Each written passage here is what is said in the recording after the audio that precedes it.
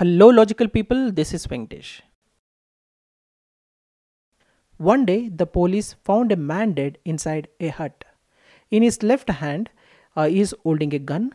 In his right hand, he has a recording. When the recording is played, the police hear the man talking about how horrible life is and how he wants it to end. The recording ends with a gunshot. The police are about to call it a suicide until you point out a very important clue. What is it?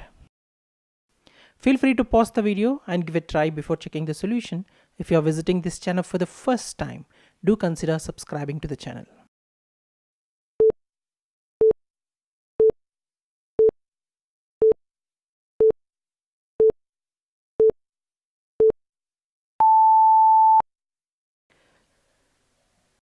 The answer to this riddle is as not easy as it seems to be in the first place.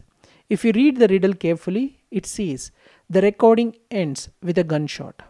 Here, if the man would have committed suicide, then he would have not been able to stop the recording after he pulls the trigger. Therefore, this is the important clue that the police pointed out.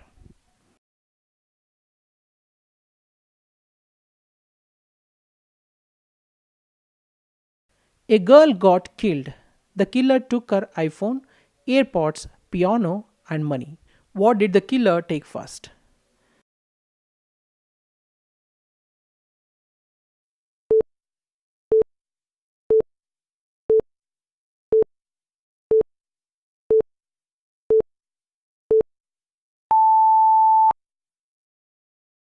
The answer is her life. The list of things that the killer took, such as iPhone, AirPods, piano, and money, are there to confuse people since many would start thinking of other objects that might have been taken. The correct answer to the riddle is her life.